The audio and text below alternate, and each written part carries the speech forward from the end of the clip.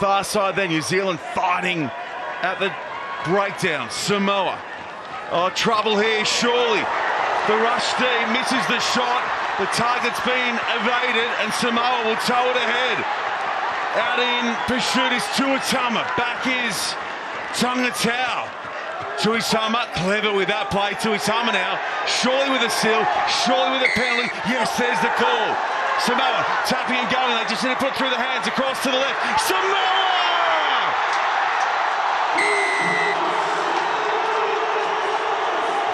From their own try line, they've taken it the full 100 and they've taken themselves to a three-point lead.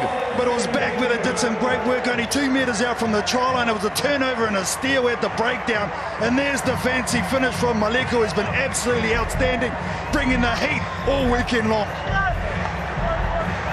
Well, he's a HSBC Dream Team nominee, I think, with that play.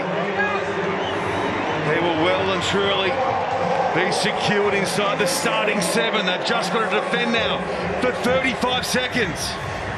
And the back to defence all weekend long.